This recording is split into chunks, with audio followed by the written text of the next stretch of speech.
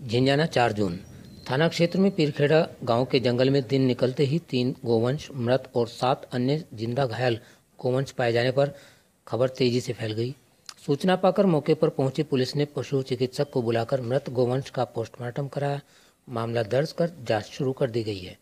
मालिनी मार्ग पर राजबाही के निकट जंगल में सवेरे लोगों ने तीन मृत गोवंश एवं सात ज़िंदा घायल गोवंश को विचरण करते हुए देखा। इसकी सूचना पुलिस को दी। सूचना पाकर सीओ जितेंद्र सिंह, कार्यवाहक, थाना प्रभारी निरीक्षक तूफ़ान सिंह, भारी पुलिस बल के साथ मौके पर पहुँचे और स्थानीय पशु चिकित्सक को मौके पर आने के लिए कहा। फार्मासिस्ट गजराज चौहान ने मौके पर पहुंचकर मृत पशुओं का पोस्टमार्टम कर जाँच को भेजे जाने के लिए ज़रूरी सैंपल लिए। मौके पर चौपैया गाड़ी के टायरों के निशान भी मिले हैं, जिनसे लगता है कि इन गोवंश को अन्यत्र कहीं से लाया गया है।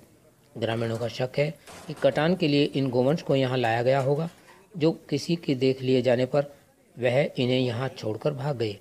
पुलिस ने अज्ञात में मामला दर्ज कर जाँच शुरू कर दी है। पशु जिला चिकित्सक यशवंत सिंह ने बताया कि पशुओं के मरने का कारण स्पष्ट नहीं हो सका है। उन्हें बिसरे का सैंपल लेकर आगरा जाँच के लिए भेज दिया गया है।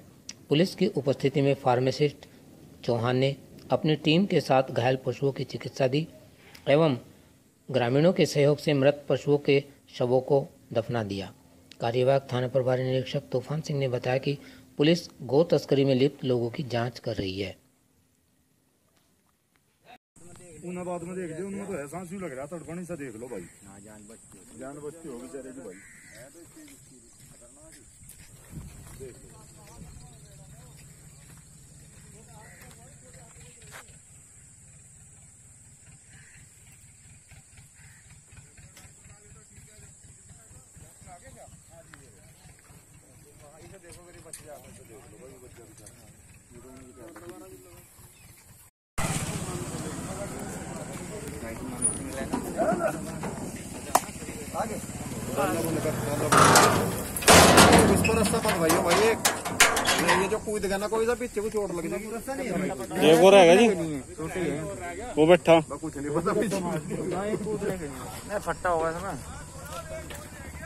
हाँ लाया भाई वहीं।